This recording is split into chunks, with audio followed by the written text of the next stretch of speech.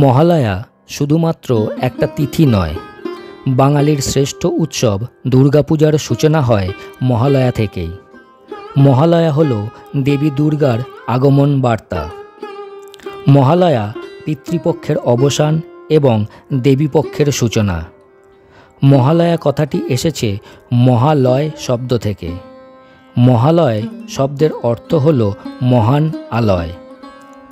মহান আলয় কথাটি জ্ঞানীজনেরা বিভিন্নভাবে ব্যাখ্যা করেছেন। যেহেতু মহালয়া থেকেই দেবী দুর্গার আবাহন পর্ব বা দেবীপক্ষ শুরু হয়ে যায়, সেই কারণে অনেকের মতে দেবী দুর্গা স্বয়ং হলেন এই মহান আলয় বা আশ্রয়।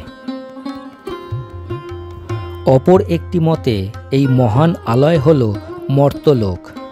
মনে করা হয়, এই দিন প্রয়াত আত্মা মর্তলোকে ফিরে আসে। প্রয়াত আত্মার মর্তে, অর্থাৎ মহান আলয়ে যে সমাবেশ হয়, তাকে বলা হয় মহালয়া। মহালয়ার সঙ্গে অবসান হয় কৃষ্ণপক্ষের। এরপর সূচনা হয় দেবী পক্ষের শুক্লপক্ষের প্রতিপদ থেকে নবমী পর্যন্ত নটি রাতে দেবী দুর্গার নয়টি রূপের পূজা করা হয়। প্রতিপদ থেকে নবমী পর্যন্ত এই নয়টি রাত নবরাত্রি নামে পরিচিত। দেবী দুর্গার নয়টি রূপের নাম হল শৈলপুত্রী, ব্রহ্মচারিণী, চন্দ্রঘণ্টা, কুষ্মাণ্ড, স্কন্দমাতা, কাত্তায়নী, কালরাত্রি, মহাগৌরী এবং সিদ্ধিদাত্রী। সনাতন ধর্মে যে কোনো শুভ কাজ করার আগে পূর্বপুরুষ সহ সমগ্র জীব জগতের জন্য তর্পণ করতে হয়। তর্পণ মানে খুশি করা। মহালয় তিথির অবশ্য কর্তব্য একটি আচার হল তর্পণ করা। গঙ্গা বা স্থানীয় কোনো জলাশয়ে পূর্বপুরুষদের উদ্দেশ্যে তর্পণ করা হয়। এখন প্রশ্ন হল, মহালয়া তিথিতেই কেন পূর্বপুরুষদের উদ্দেশ্যে তর্পণ করা হয়? সে সম্বন্ধে একটি পৌরাণিক কাহিনী প্রচলিত আছে। তা হল, মহাভারতে অন্যতম বীর কর্ণ কুন্তির পুত্র হয়েও সারা জীবন অবহেলিত ছিলেন। বীর কর্ণ বীরত্বের পাশাপাশি দানবীর নামেও পরিচিত ছিলেন। তার কাছে কোনো কিছু চেয়ে কেউ কখনো বিমুখ হননি।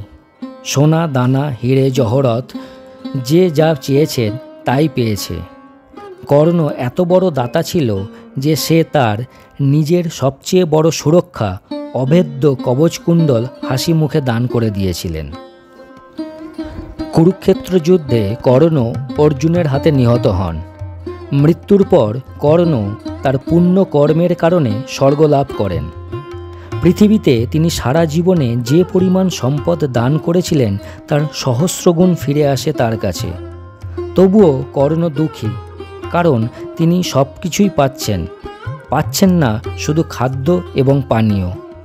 খিদে এবং তেষ্টায় কাতর কর্ণ ক্ষুব্ধ হয়ে যমরাজের কাছে জানতে চান, সারা জীবন দুঃখী মানুষকে এত কিছু দান করার পরেও কেন তাকে ক্ষুধার্ত এবং তৃষ্ণার্ত থেকে কষ্ট ভোগ করতে হচ্ছে?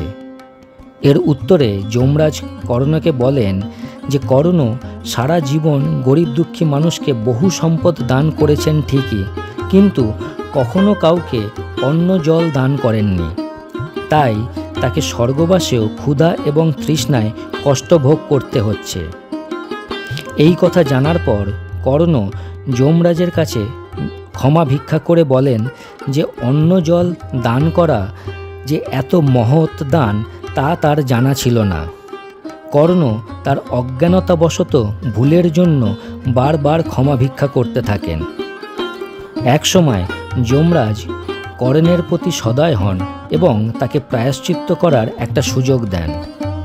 যমরাজ কর্ণকে বলেন যে তিনি কর্ণকে এক পক্ষকাল অর্থাৎ পনেরো দিনের জন্য আবার মর্তে ফেরত পাঠাচ্ছেন এবং এই পনেরো দিন তিনি কর্ণকে মর্তবাসীদের জন্য অন্ন এবং জল দান করার আদেশ দেন। যমরাজের আদেশ পেয়ে কর্ণ পনেরো দিনের জন্য মর্তে ফিরে আসেন এবং অকাতরে অন্ন জল দান করতে থাকেন। এর ফলস্বরূপ পনেরো দিন পরে কর্ণ আবার স্বর্গে ফিরে গেলে সেখানে তিনিও অন্ন এবং জল লাভ করেন। আশ্বিন মাসের কৃষ্ণপক্ষের প্রতিপদ থেকে অমাবস্যা। এই পনেরো দিন ছিল কর্ণর দ্বিতীয় দফায় মর্তবাস।